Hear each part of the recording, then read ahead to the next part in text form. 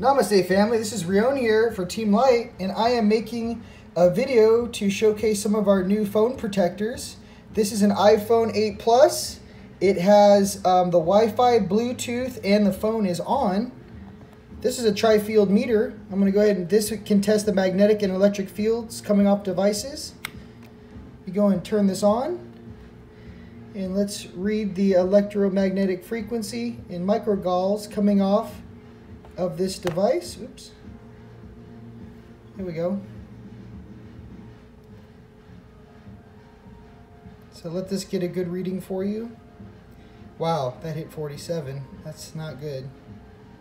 Um, this is again an iPhone 8 Plus. You know, if you have the iPhone 8 or the iPhone 10 or 10X, whatever they have going on now, um, just to let you guys know the antennas for these phones are on the sides.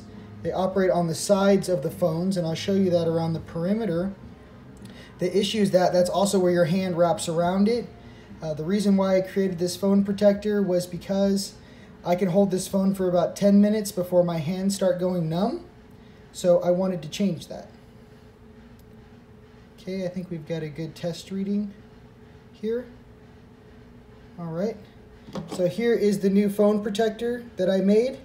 It's got a rubber durable top front. It's in sacred geometry and is double layered. It also has a black tourmaline shungite core along with some other proprietary metal blends that I did to protect us.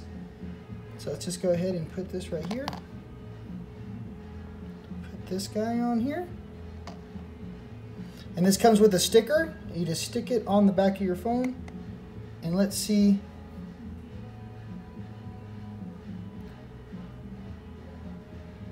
how much it dropped. um, as you can see, um, the protector itself is doing a really good job in shielding you uh, from these electromagnetic frequencies coming off of your phone. Um, I'm to let this run for a second so you guys can see exactly. Let me scoot it over so make sure it's in the same place here. So it dropped it from about 40 at the highest pulses to about what you're seeing now.